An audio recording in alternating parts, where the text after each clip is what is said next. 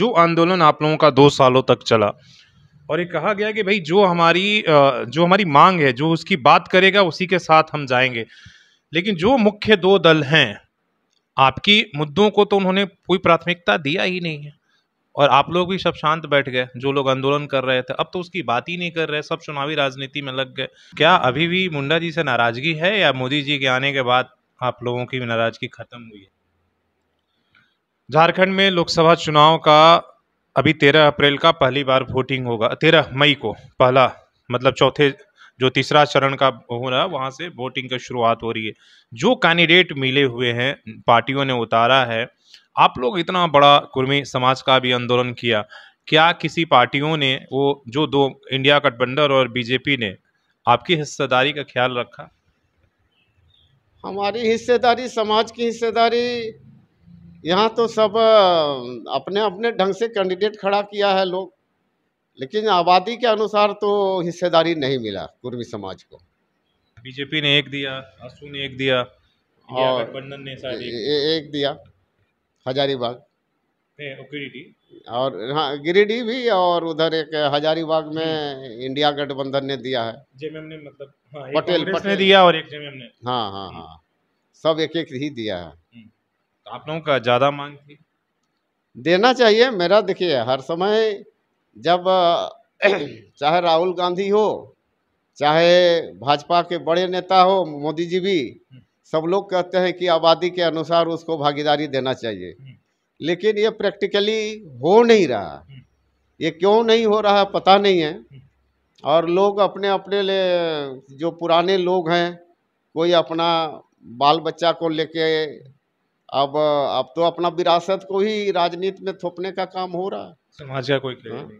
नहीं नहीं वो सब तो कुछ नहीं है चाहे हार जाए चाहे कुछ हो जाए। मेरा अ, सवाल एक और था कि जो आंदोलन आप लोगों का दो सालों तक चला और ये कहा गया कि भाई जो हमारी जो हमारी मांग है जो उसकी बात करेगा उसी के साथ हम जाएँगे। लेकिन जो मुख्य दो दल हैं आपकी मुद्दों को तो उन्होंने कोई प्राथमिकता दिया ही नहीं है। और आप लोग भी सब शांत बैठ गए जो लोग आंदोलन कर रहे थे। अब तो उसकी बात ही नहीं कर रहे सब चुनावी राजनीति में लग गए। तो जो कुर्मी समाज आंदोलन कर रहा था वो सब कहाँ? इस अभी समय तो नहीं, बात नहीं, नहीं, नहीं, एक ठीक है। एक मैंने चिट्ठी लिखा था मोदी जी को हम्म, 26 फरवरी को। और उस चिट्ठी के अवज में उन्होंने मतलब पीएमओ ने पश्चिम बंगाल सरकार झारखंड सरकार और उड़ीसा सरकार को चिट्ठी मेरे चिट्ठी के आलोक में उन्होंने जवाब मांगा है कि कुर्मी लोगों को एसटी बनाने के मामले में आपकी क्या राय है? लेकिन अभी तक तो इन लोग ने कोई अब तो चुनाव आचार संहिता है इसलिए इतनी जल्दी तो इन लोग की जाएगी नहीं। लेकिन चुनाव के बाद फिर ये बात को उठाया जाएगा। लेकिन चुनाव में जो बात हो रही थी कि भाई जो हमारी बात नहीं करेगा हम उसके विरोध में रहेंगे तो वो क्यों वो बात नहीं एक चीज़ है जब मोदी जी ने जब इसको कॉग्निजेंस लिया है संज्ञान लिया है इस मामले को कि कुर्मी को जनजाति सूची में शामिल किया जाए या नहीं इसके लिए तीनों राज्य सरकार को उन्होंने नोटिस किया। नोटिस या न मतलब पत्र दिया है। नहीं नहीं मोदी जी ने जो पीएमओ के जो PMO ने लिखा चिट्ठी। जो पीएमओ ने जो चिट्ठी लिखा है तो उस चिट्ठी को आज ये तो चुनाव है। तो चुनाव में आज हम देख रहे हैं कि ये भाजपा नेता लोग झारखंड के जो भाजपा नेता लोग हैं चाहे बंगाल के जो नेता लोग हैं चाहे उड़ीसा के जो भाजपाई लोग हैं इस बात को ये लोग क्यों चुनाव में जनता के सामने नहीं रख रहा है ये ये, ये मुझे एक तजुब लग रहा है ये चीज़।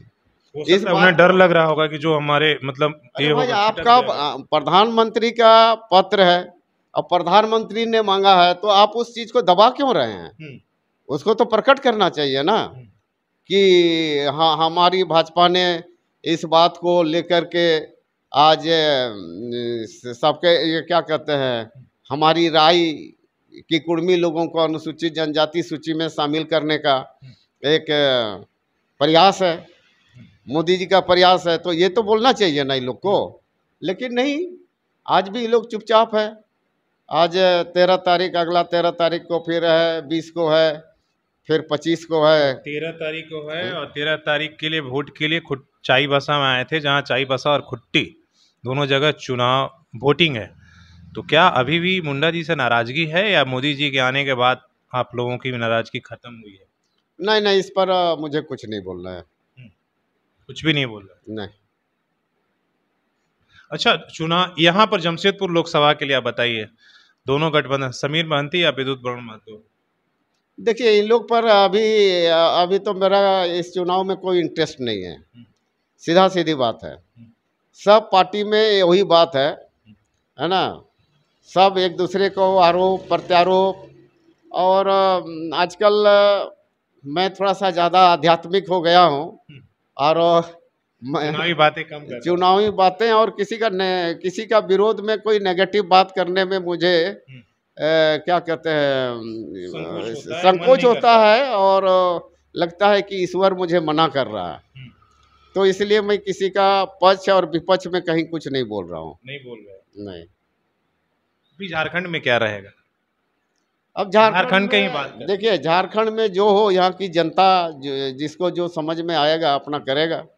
अब इसमें मेरी राय देना तो मैं आवश्यक नहीं समझ रहा हूँ। तो आप बातचीत देख रहे थे और जिस तरीके से इन्होंने अपनी राय रखी। तमाम मुद्दों पर वो कुर्मी समाज का मुद्दा हो कि चुनाव में उनका क्या भूमिका रहा, जो कह रहा था कि भाई जो लोकसभा चुनाव आएगा तो हमारी जो बात, जो हमारी मांग है, खासकर जो एसटी में शामिल करने का, अगर उसकी वकालत नहीं करेगा तो हम ऐसे लोगों का समर्थन नहीं करेंगे।